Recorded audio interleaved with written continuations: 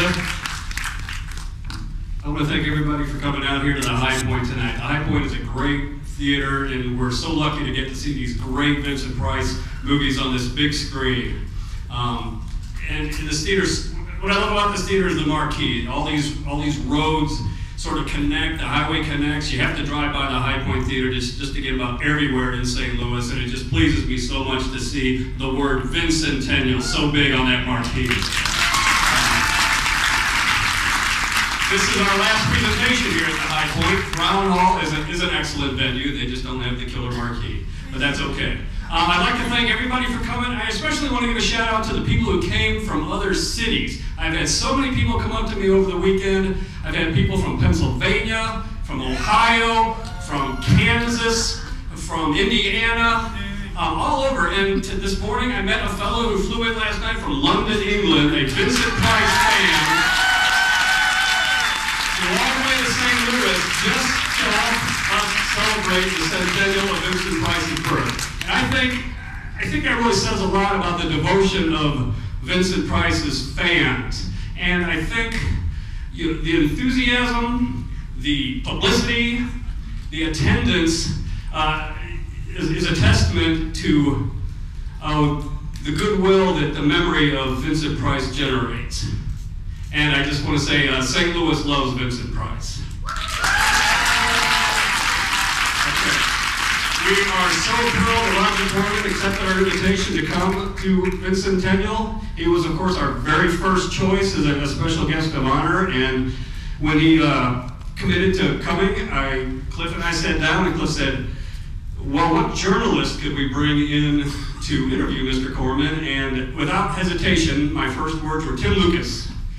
Um, and we're super excited that Tim also accepted our offer. Um, Tim is a world-renowned film scholar and novelist.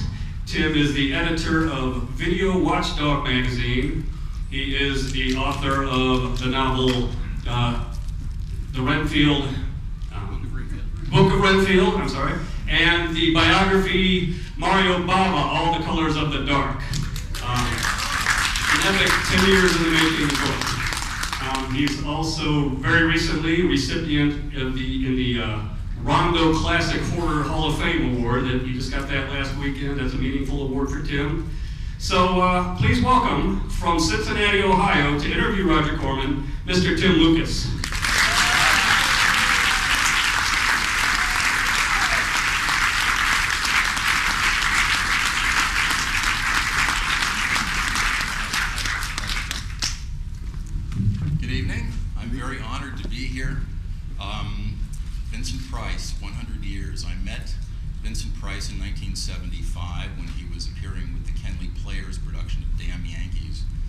was surrounded by people who were about 25 years old. He was in his 70s, and he always seemed to me like the youngest member of the company. He was he was pretty amazing, and and I remember him as the most difficult person I've ever met to walk away from.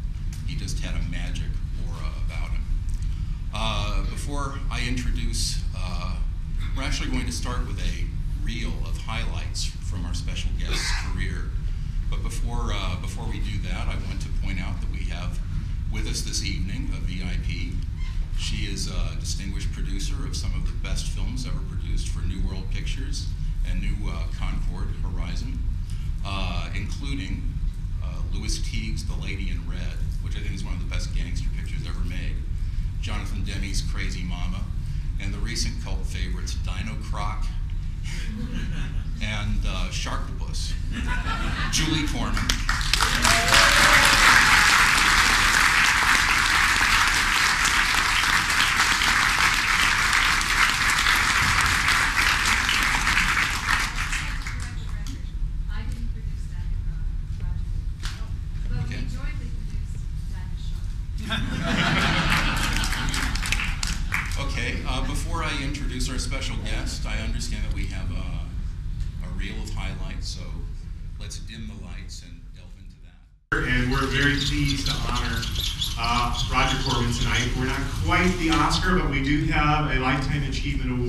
Present.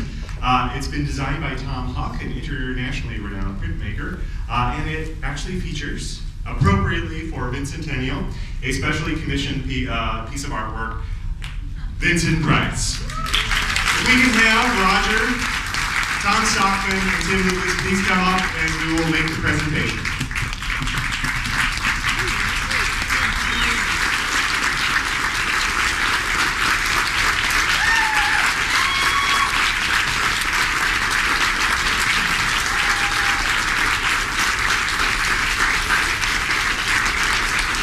If you two want to at this point?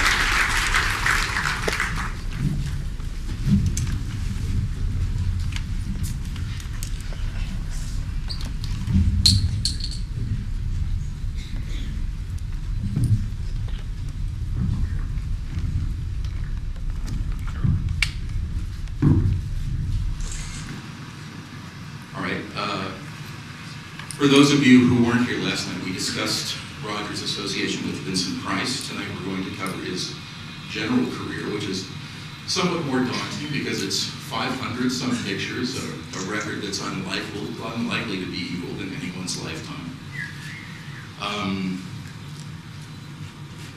It's amazing to me that in, in doing all of that, you also had the, the courage and the wit to invest these films with satire and social commentary. Um, how did it occur to you to, to make these films more personal?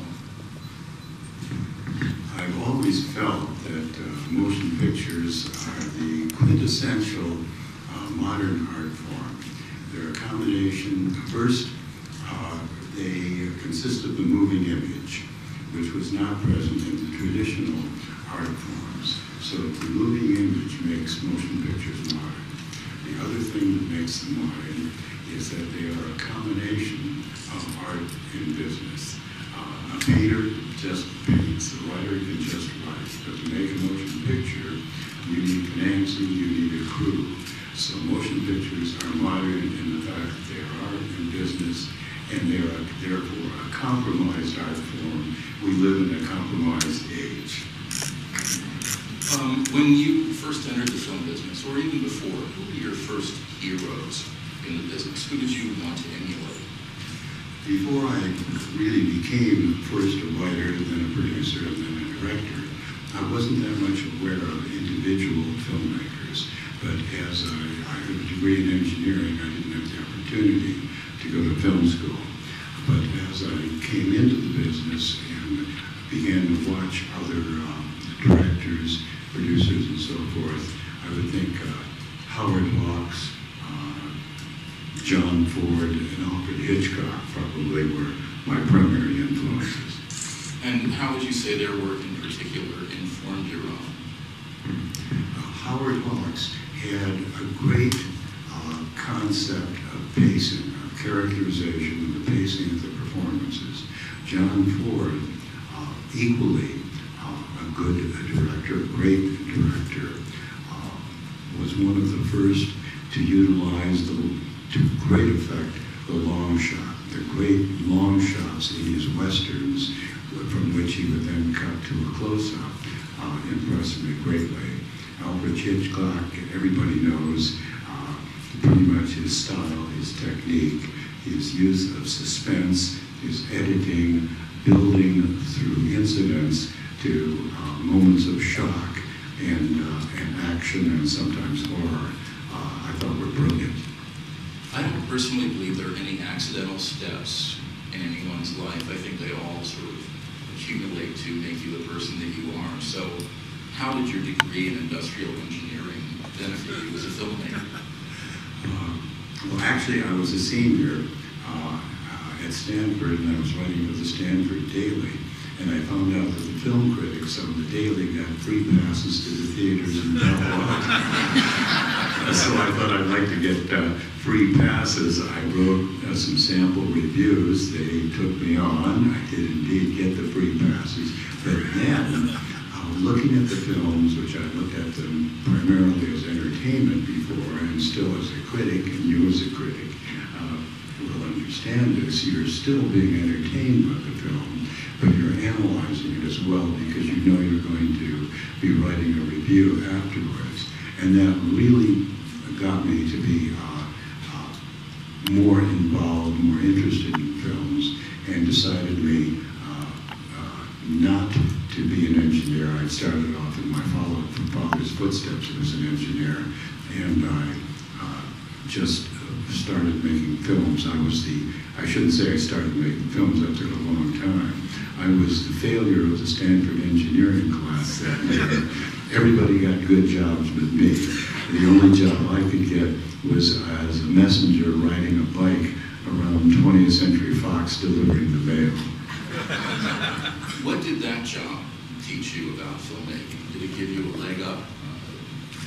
And, and what was the basic story between you being a messenger at Fox to getting your first uh, production job together? Well, it is a long story. It took me uh, five or six years, but I'll make it very quick. At that time, motion picture production was six days a week. The office was open five days a week. I volunteered to work a sixth day for nothing if I could be on the set. And they said, why not? And uh, I was on the set and observing. I learned from what was going on on the set. I was then promoted to a story analyst, which really means reader. And uh, did fairly well as a story analyst, but became a little bit disillusioned with uh, the way things were going. Uh, so I went to Europe. I did postgraduate work at Oxford in English literature, came back, knocked around, and finally sold a script. And I said to the producer, uh, as part of our negotiations, I will work for you for nothing as your assistant if you'll give me an associate producer credit. He said, again, why not? The guy, that a guy working for him for nothing. But that was important because credits are important in Hollywood to establish who you are. I was therefore, I had official, officially, I had a credit as an associate producer and a writer. So I set myself up as a writer, producer in a little one-room office uh, on Sunset Boulevard.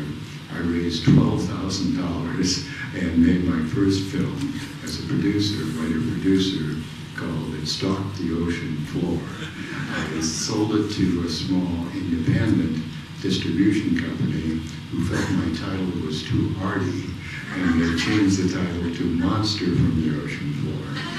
And I took the profits from that, did The Fast and the Furious, which was successful for me. I sold that title a few years ago to Universal, and it's done extremely well for them as well. And uh, the next film, Pop Guns West, I became a director, and I just continued from there. Well, that story that you, that you told shows that you had a remarkably developed sense of business at a young age. Where, where did you pick that up? Um, I was a child of the Depression. Uh, my father was never out of work or anything like that, but we lived in reduced circumstances. I barely understood it because I was so young, but I absorbed some of those uh, some of those lessons, and I think that probably uh, influenced me. So how much of, of that story that you told, the sequence of events, was strategy and how much was luck? It was a portion of both. I was lucky to be in the right place at the right time. The rest of it was strategy. I think with most people, whether you're making motion pictures or whatever field you're in, there's a combination of your own ability and a little bit of luck. One of, one of the interesting stories that I, I, I find fascinating that, about your business sense is when, uh, when I first saw Monster from the Ocean Floor, I saw that a lot of attention was paid to a certain prop. It was an underwater scooter of some kind, and I thought to myself, I bet he got the funding together to present this film as a commercial for this product. Is that basically what happened? You're very close. I was reading the Los Angeles Times, and I saw an article uh, about a company called Aerojet General, who had developed a miniature one-man submarine. I called them, told them that I was a, a, a producer, and that I would like to make a picture and publicize their submarine if they would lend me the submarine and people to operate it they were happy to get get the publicity. They had no idea I was a producer with no money whatsoever. But based upon that, I raised the money. I, I took the uh, the initial money was from the sale of my script, uh, my- which which I called The House in the Sea. Uh, and I combined that with uh, money I raised from other sources. Production value. Um, there's a note on the Internet Movie Database that I find very funny. Uh, there's a quote, and it's as, as the film opens, and we're talking about Monster from the Ocean Floor, the camera pans to a landscape where, quote, no white man has ever been. At the top right of the screen, a car can be seen traveling down Pacific Coast Highway where the scene was filmed. Now, the Pacific Coast Highway has always been a very central location in work, and I was just wondering, in the 50 years that you've been making films, how have you seen the Pacific Coast and the locations that have been so important to your work change, the Sunset Strip and so on? Well, uh, that's the Pacific Coast Highway north of Malibu. Incidentally, uh, that quote is true, but nobody has ever noticed um, that uh, that car. It was far in the distance. We were shooting at a beach called Carrillo Beach, uh, north of Malibu, and the quote must have come from me. I must have mentioned it because nobody ever has seen it. Um, the Pacific Coast Highway in Malibu has developed. Matter of fact, Larry Turman, uh, a producer who produced The Graduate, who's a good friend of mine, had an end of the sea, end of the season party at his house in Malibu in June on the basis the highway was impassable for the rest of the summer. It's become so crowded. How did you come into contact with uh, the gentleman at American uh, Releasing Corporation originally, which became American International Pictures, uh, Jim Nicholson and Sam Arkoff? How did your paths first cross? Well, Monster from the Ocean Floor was fairly successful, and it gave me the money to make The Fast and the Furious. But I could see the trap for the independent producer. You raised the money, you made the picture, then you waited for the picture to pay back before you could make another picture, which meant if you were lucky, you could make a picture a year, and I had no intention of, of waiting that way. The Fast and the Furious was, for a low-budget picture, a pretty good little picture, and I had offers from a number of the low-budget distributors uh, with, uh, to distribute it. I met Sam, Sam Arkoff and Jim Nicholson, who were about to start American International, and they were raising money too, and they wanted my picture, but they never distributed the film. And I said to them, I will go with you, but I want a three-picture guarantee. I can finance these films, but what I want is as soon as I finish a picture, I want you to pay me back my negative cost so that I can start immediately on another picture and I will gamble with you as to whether or not we go into profits. So that three-picture deal enabled me uh, to make uh, pictures one after another and it enabled American International uh, to get started as a distribution company. As I understand it, you would typically originate the storylines of, of all your pictures, and then you would assign writers to them. So, where did you find your writers in the early days, and how closely did you work with them, and, how does that differ from how you work now? Uh, the basic process has not changed very much. Um, almost every picture I made uh, was originally my idea. Sometimes I would buy a novel such as The Intruder, or I would take uh, uh, published works such as the works of Edgar Allan Poe, uh, but I would have the idea, I would write a short treatment, no more than five or six pages, bring in a screenwriter, and work with him going through one, two, three, sometimes four or five drafts uh, before we were ready to shoot. Did you preserve any of this paperwork, the original treatments? I probably should have. I know some directors who have the scripts of every picture they've ever made bound in leather in their libraries. Uh, I just, not necessarily threw the scripts away, but I forgot about them because I was already working on the next script. So most of the scripts of the early pictures uh, are not in existence. Well, as this reel that we watched shows, um, it's just astounding how much talent you've discovered and fostered over the years. Jack Nicholson, Bruce Dern, uh, the list just goes on and on and on. And you, I've seen you on, on various talk shows commenting, and you name each each of the or, the host would give you the name, and you would come up with uh, short comments on each of them.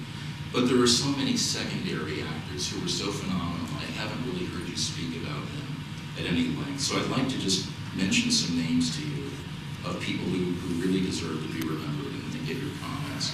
Uh, the first is the great character actor Dick Miller.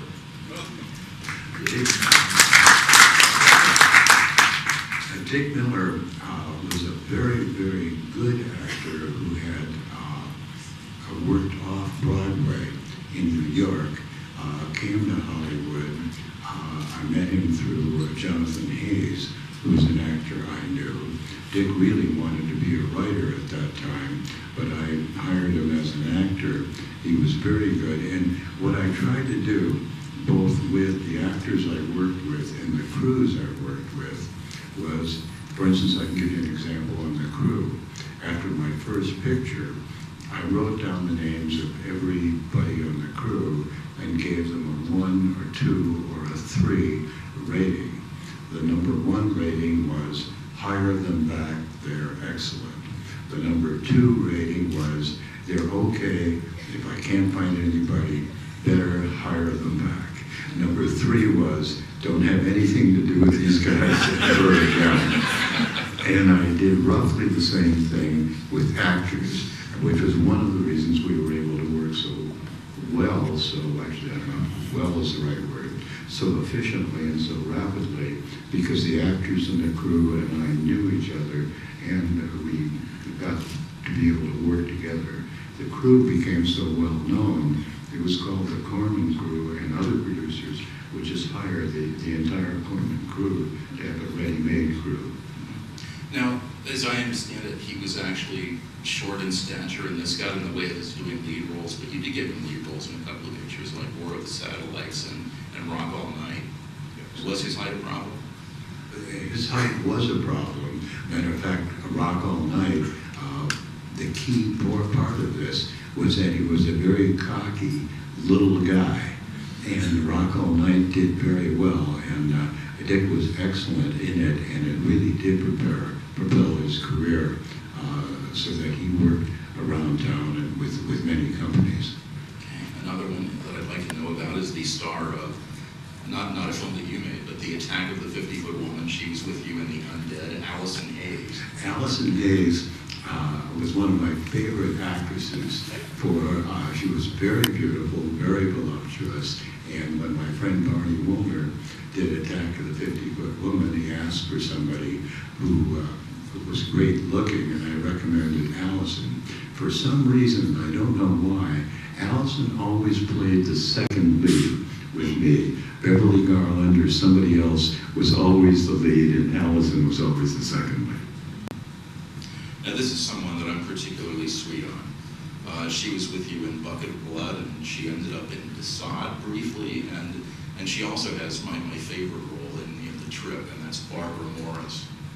Barboura Morris was uh, one of the most talented actresses that I've ever worked with. She'd come out of UCLA, where she'd been uh, more or less the star of the drama school. Uh, she was a very sensitive, a very intelligent actress, uh, had a good career. Uh, it was one of those things, she was attractive but not beautiful, and uh, that limited her career to a certain extent. Uh, the star of The Wasp Woman and Sorority Girl, which I think is one of the best pictures you made in the 50s, Susan Cabot.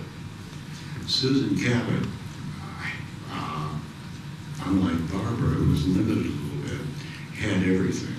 Uh, she was very beautiful. She was an excellent actress. Uh, she was under, under contract. She had starred uh, off Broadway, had been signed by Universal, was uh, co-starring with uh, Rock Hudson in one picture, a couple of pictures, uh, and simply got into an argument with the head of the studio and with a couple of directors, and they dropped her option. I was lucky enough to work with her, but uh, she was limited by uh, some temperament.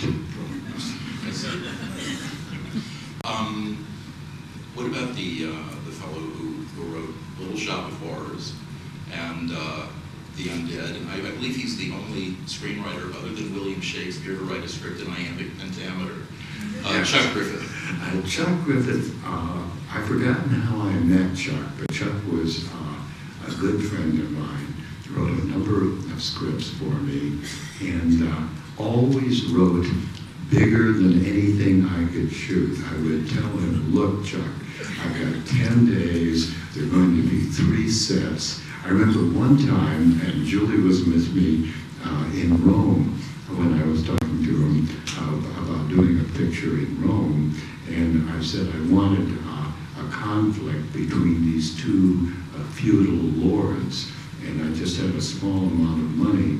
The opening scene, one king with his vast army approaches the king uh, of another country with his vast army. And I said, Chuck, you know, I couldn't even afford the first scene in this picture, much less the rest of it.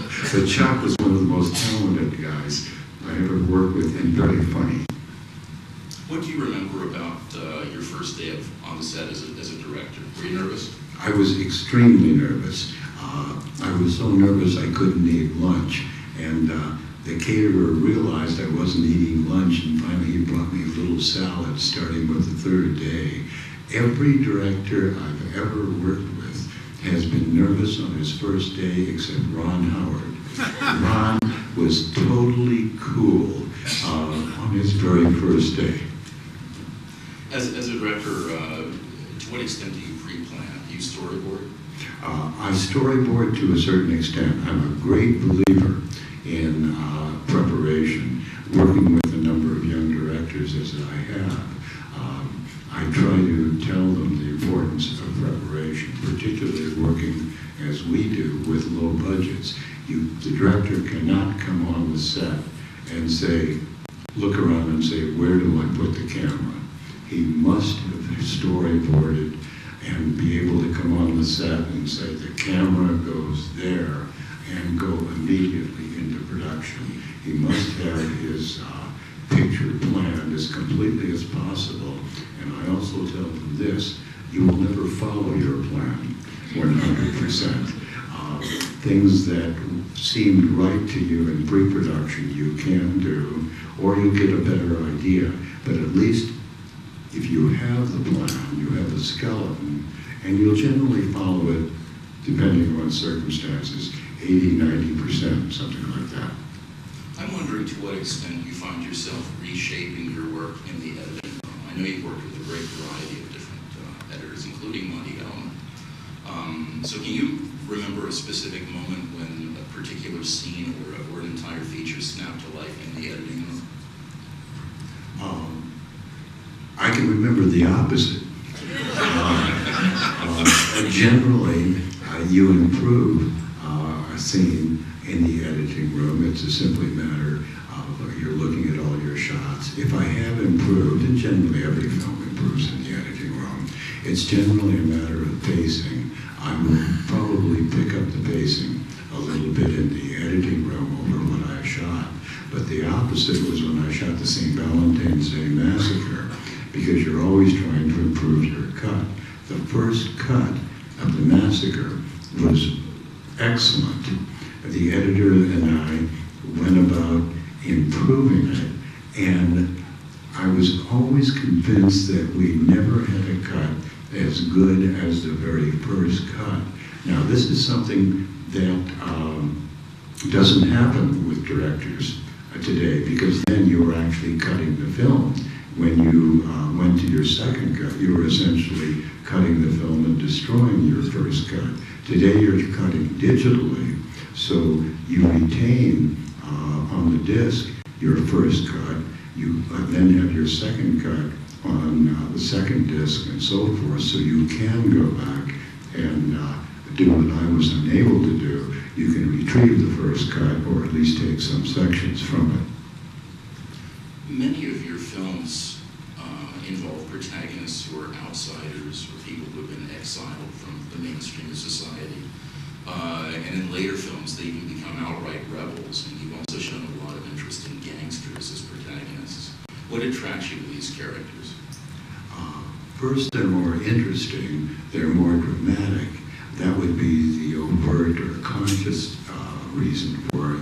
There's probably some psychological uh, somewhere in the back of my mind that uh, makes me identify with the rebel.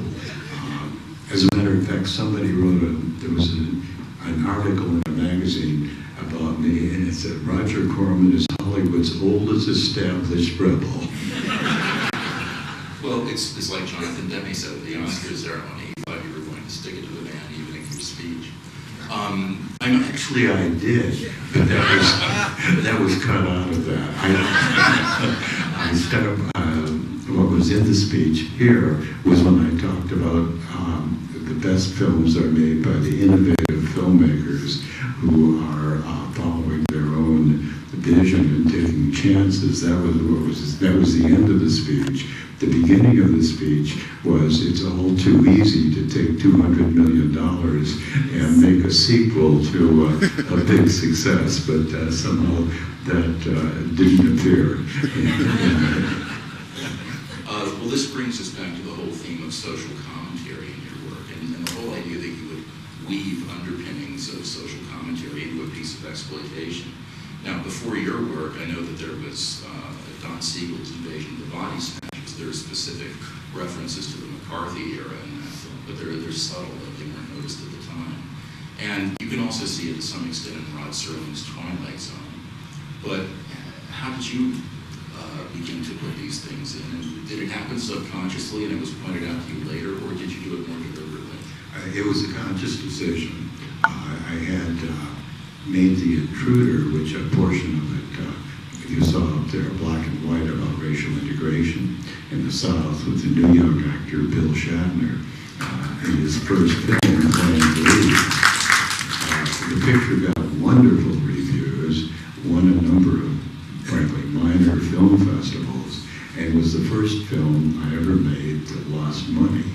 And uh, I thought about it, and I thought I was too, too overt in my, well, two things. One, I think people just didn't want to see a picture about uh, segregation and integration of schools and that problem. They were trying to push that problem away.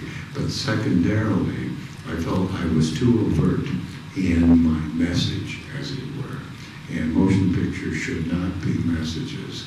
So I consciously uh, framed a way to make films that I would go back to entertainment films.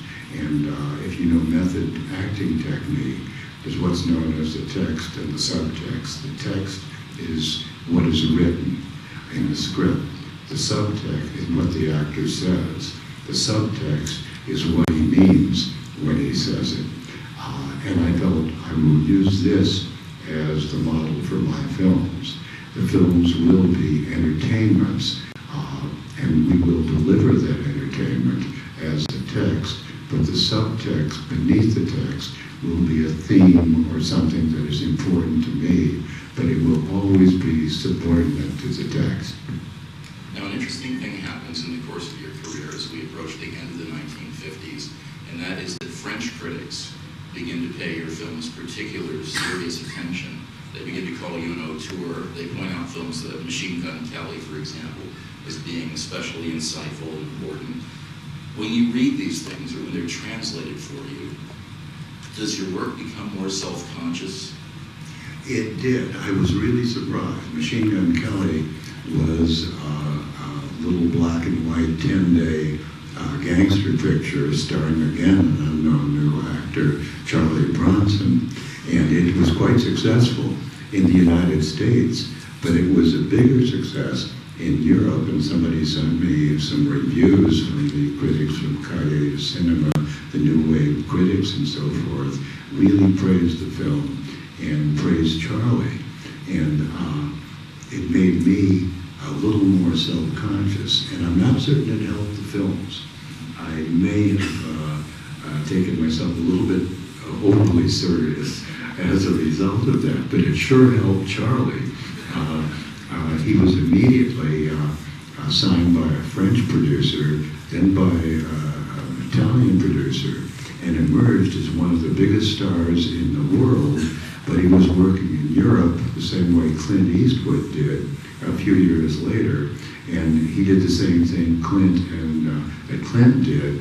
Charles Bronson and Clint Eastwood came back to America already established. The shocking, oh, which brings up a minor book, the shocking thing is I, I was talking to some young interviewer and he was talking about the number of actors uh, who'd gone on to good careers, who had started with being, listed some of them. And I said, well, there's also Charles Bronson. And he said, who is Charles Bronson? And I thought, the years go by. He was one of the biggest stars in the world. And this young uh, critic did not know the name. He should, he should have his, his card revoked. um, one thing that impresses me about films that were made in this time period is that when you were doing this, there was actually, especially in the ranks that you were working in, independent film, um, there was very little hope that these films would have much of a shelf life after the time of their theatrical exhibition.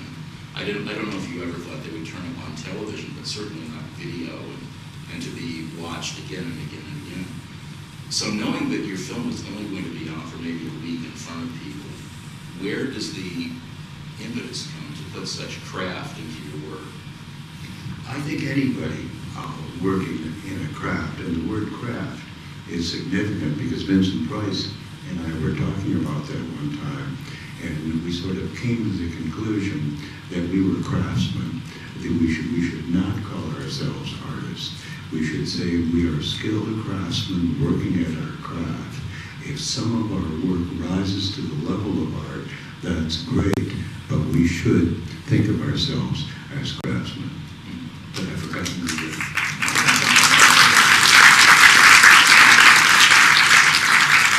My, my point was is that, well, I, I guess it's just taking pride in your work. That's, that's what. Yes, that's what I was starting to say. I digress. I think anybody uh, working in such a way takes pride in his work. A cabinet maker uh, wants to make the best cabinet he can. Uh, although I've seen some guys, particularly working in my own house, who didn't seem to have quite that dedication. But I think most craftsmen, most most people working, want to work well. Um, as, as I introduced you yesterday, I said, uh, you know, that yesterday was Judgment Day, and we were lucky to have the director of The Day the World Ended with us. Um, uh, that, that's actually another recurring theme in your work, the, the end of times, people who are in a very dramatic situation because life as we know it is coming to an end. Um, you were a voracious reader of science fiction in the 1950s. Is that where your interest in apocalypse, or that came from? It probably was that. On the other hand, maybe that was the reason I was reading um, uh, science fiction. I think I've always been, um, I was uh, baptized Catholic and fell away from the church very quickly, and maybe I've somehow retained a little bit of religious thoughts leading me to the apocalypse. I think the first book uh, about me ever written was called uh, The Apocalyptic Vision. Um, but it's also very uh, central to youth culture, isn't it? Mean, that, that sort of cynical view of the world that there's not much of a future. well, no future culture is very youth oriented, so it's part of the audience you were reaching. Uh, that would be true. I would be more, so from my standpoint, I was saying that uh, to me, we don't know what the apocalypse will be. We don't know what the end day will be. And that's one of the most important questions of our life. And uh, I would explore that to a certain extent in some of the films. I don't want to sound too pretentious there. Well, I I have to ask you about Little Shop of Horrors. I know you've talked about it a lot, but when you look back at a film that took two days to film, is it is it just a whiplash blur? What is it like to you? It started as a joke, uh, really. I was working at a small rental studio. I had an office there, and I was having lunch with the studio manager. And they had built a very nice set, and uh, nobody was coming into the studio. And uh, I said, well, as long as that set's up, if you will leave it, um, uh, I, I'll come in and shoot it. And uh, he said, fine. And Chuck Griffith and I, um, actually what we did, we, uh, I had the idea, and Chuck and I this was somewhere, I guess, in the hippie days, and we wandered from up and down Sunset Strip, uh, from one coffee house to another, writing, uh, writing the treatment as we went. We ended up at Chez Paulette, where an actress we knew was working as a, a waitress who hadn't yet uh, emerged, Sally Kellerman. And as the uh, uh, place closed, Sally sat down with us and she worked on the uh, climax of the story with us. And Chuck then wrote the script in 10 days, and I shot it in two days and one night. Uh, Cliff, I'm, I'm a little confused on time. How much more time do we have? Uh, maybe 10 more minutes? Okay, fine. Um, after the Poe films, you jumped from a sort of 19th century period of film right into the heart of contemporary times with The Wild Angels. And I'm wondering if you felt sort of insulated during the period when you were making the Poe pictures, and did you feel like you were deliberately putting yourself on the front lines of, of the 60s uh, to, to reach people, to reach a new audience? Yes, it was a deliberate decision. Uh, the Poe pictures were quite successful. I think I did six of them, seven, something like that. And AIP wanted me to continue. But again, I had certain theories. I felt that uh, Poe had been working with the unconscious mind. The unconscious mind does not have direct contact with the world. It receives information from the eyes, the ears, the nose, whatever. And so therefore, it's an artificial environment. Uh, and I talk to the directors who start with me and I say, you should have a theory about every film. It's good if the theory is right, but it's still okay if the theory is wrong. Have some thought behind the actual action. And my thought there was to create the artificial uh, environment of the studio. I finally got tired of working in the studio, got tired of my own theory, and said, I want to break away from this, and I want to go into the streets, have nothing to do with period films or shooting inside a major studio. I want to be on the street showing cont- con- contemporary environment, and the Hells Angels were uh, a phenomenon at the time. They were uh, discussed, written about, and I felt uh, they were an important cultural uh, phenomenon. Was, was it a frightening subject matter for you to approach? Was it a frightening subject matter for you to approach? No, it wasn't. It wasn't a frightening uh, thing. It was a challenging uh, because I wanted to work with the Hells Angels, and we only had a few professional actors in the film. The rest of them were the Angels themselves. So it was a challenge, and in the back of my mind was the fact there might be violence that could uh, could emerge, but but it never did. It's still quite a disturbing movie when you see it today. And uh, so when you presented this to, to AIP, I mean, I'm sure they had their own idea of what it was going to be. But did it shock them, and were they uh, intimidated by the prospect of releasing it in any way? It did shock them. Um, they had assumed that the film was going to be, because we had, I had discussed it with them, but they gave me a great deal of freedom. Um, uh, I discussed it with them, and I said part of it is going to be the angels coming in and uh, partially terrorizing a town. And they assumed it was going to be the story of the town people and these bad guys, the angels, were going to come in. And uh, it was not. That was not what I wanted to do at all. The angels were the protagonists. The townspeople were incidental, and that was a big surprise to AIP. But it was, I think, one of the reasons for the success of the film. Right after uh, The Wild Angels, you went on, uh, based on the success of that film, you made The Trip, which was based on a personal experience of yours. You had actually taken LSD prior to making the movie. Uh, could you tell us about that experience?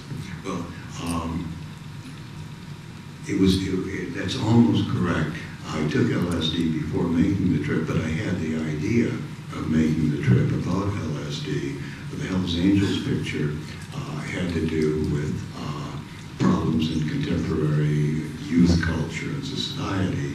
LSD was becoming important. I chose LSD as the subject matter for my second film uh, in that style. And I then took LSD really partially because I was wondering what it was and wanted to take it, but also I felt if I'm going to direct a picture about LSD, I better take it and find out what I'm what I'm making a picture about. You told me earlier today about your trip, but you should tell them because I think they'd be interested to know what you experienced. Well, I'm. Oh, you mean the the actual trip itself? Oh, oh, oh, I had a great vision. That was one of the problems. I had a wonderful trip. And, uh, and uh, uh, Jack Nicholson wasn't doing that well as an actor at the time, but I knew he was a good writer, and he'd also taken LSD. So Jack wrote the script with me, and Jack had had a couple of bad experiences, and I said, we've got to put some bad experiences into this, because if it just follows my trip, it's going to be a propaganda that everybody should go out and take LSD. Uh, the image, the particular image, which was one of many images I had, was really beautiful. It was a sailing ship, a clipper ship in the sky, sailing against an orange-colored sky of sunset, and the sails were rippling in the uh, in the wind. And as the ship approached me, the uh, cloth of the ship, sails sort of dissolved into diamonds, and the sails were composed of jewels moving back and forth in the wind. And as it became closer, the jewels dissolved into the shape of a woman's body, and the woman's body was floating back and forth in the wind. And I thought that was about as beautiful uh, an experience as uh, I had had. I figured I better put some bad stuff in this uh, in this picture as well as that. So there's also some Poe imagery and people dying and things like that. Yeah, I deliberately went back to Edgar Allan Poe to find uh, some uh, dark things to put in.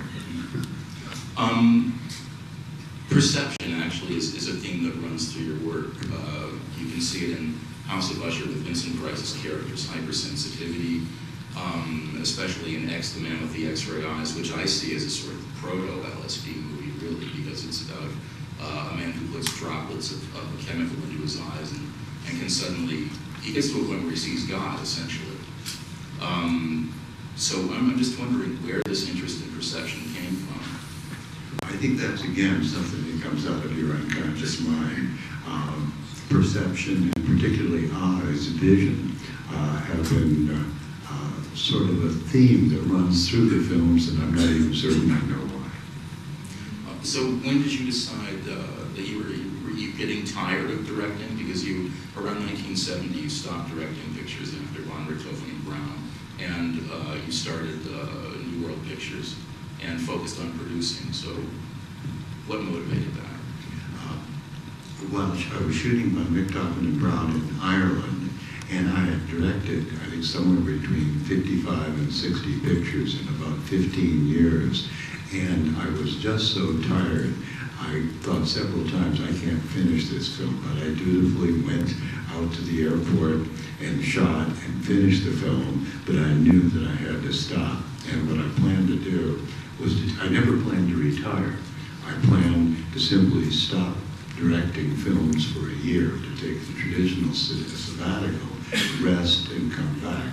But during that year, I got bored, and I started uh, New World Pictures, which was a production distribution company, and I started producing, and New World got off to an amazing start. Every picture was successful, and I just fell into into producing and stepped away from directing.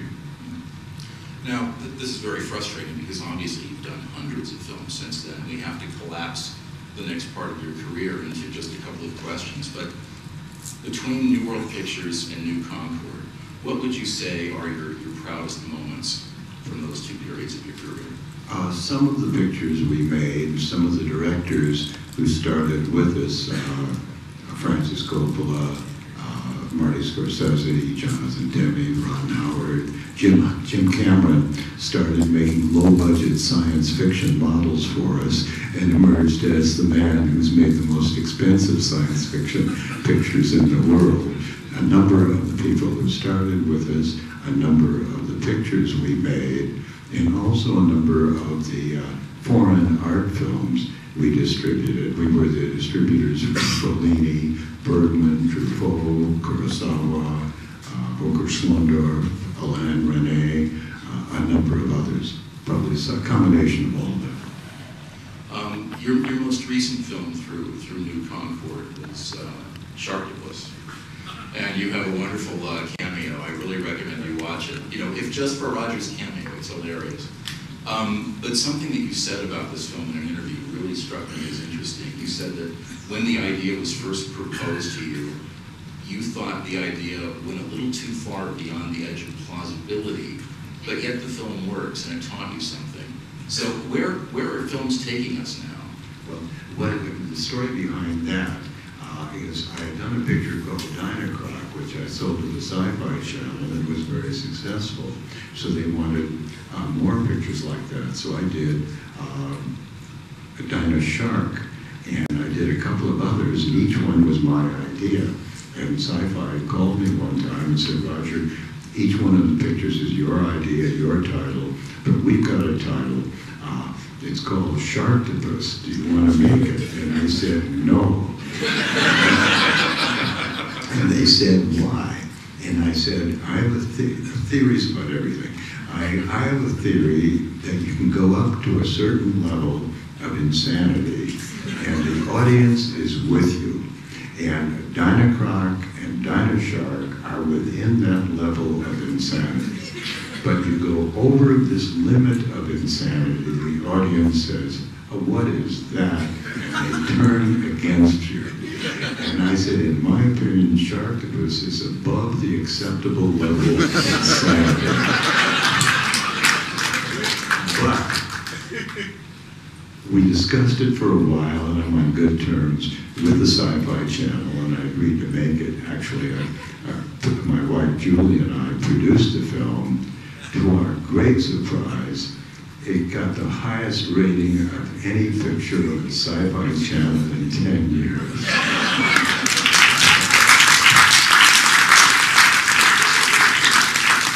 So all I can say is the acceptable level of insanity is higher than I thought. So what is the next step of insanity? Well, we have one more, which we just finished, and that's the end of it. We're, uh, we're going back to other films. I said, okay, if they're really looking for insane titles, okay. I said to everybody in the office, come up, let's see what you can come up with. And Jim Wynorski, who's the director who's worked with us, came up with Piranhaconda.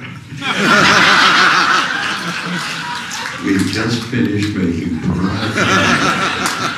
It's been sold to the Sci-Fi Channel, but I've told them this is the last one. Uh, we're going back to slightly straighter films. Well, this has been a great honor for me. I've been wanting to meet you since, well, you don't know, want to know how long. Um, but uh, thank you for coming and being with us during Vincent. It's been a great privilege.